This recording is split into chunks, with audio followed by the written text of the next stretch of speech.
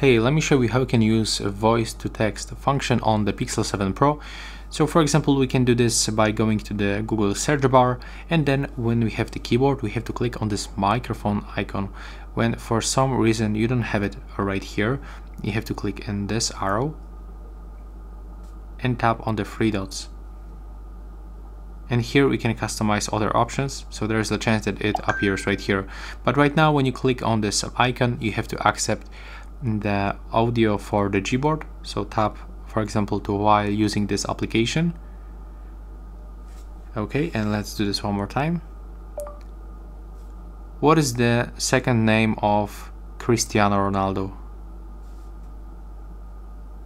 And as you can see right now, it transfer it's actually keep transferring the voice to the text. So to stop, we have to click right here and then we can go for the search and as you can see that's how you can use it.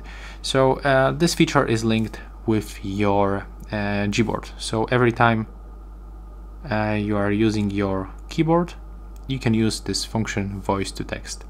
So yeah that's all. Bye bye